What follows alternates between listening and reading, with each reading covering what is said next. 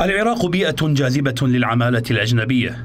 دلالة عكستها تقارير اقتصادية تشير إلى دخول أكثر من 196 ألف عامل أجنبي بعد حصولهم على تصاريح رسمية حكومية للعمل في مشاريع النفط.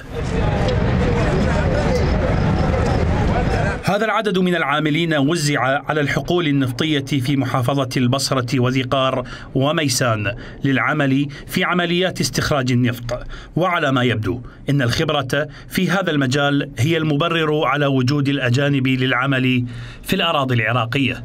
نجاح النرويج في استثماراته النفطية كان بسبب عراقي آه، متخصص في آه، الاستخراج النفطي وهو فاروق القاسم آه، الذي أنجح التجربة النرويجية في استغلال الثروة النفطية. لكن للأسف العراقيين اليوم غير ناجحين في استغلال ثرواتهم النفطية وفي تشغيل أبنائهم في هذه القطاع الذي يستوعب الكثير من العمالة.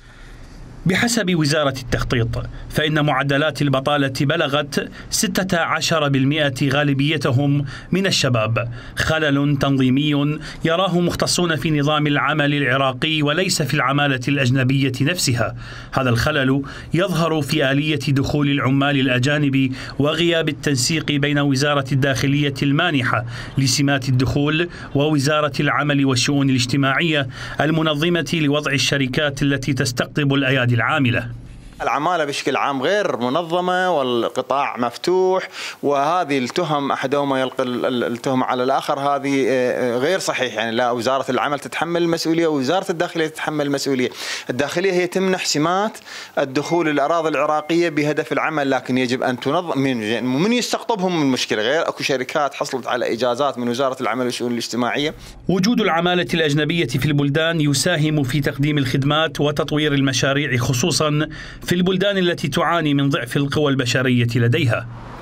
العراق وعلى الرغم من تصنيفه من بلدان الهبة الديمغرافية التي تمتلك عددا كافيا لتصدير العمال إلى الخارج فإن سوء التنظيم والتخطيط جعل من العمالة الأجنبية مشكلة في الوقت الذي يفترض ألا تكون كذلك. من بغداد أحمد مؤيد يو تي في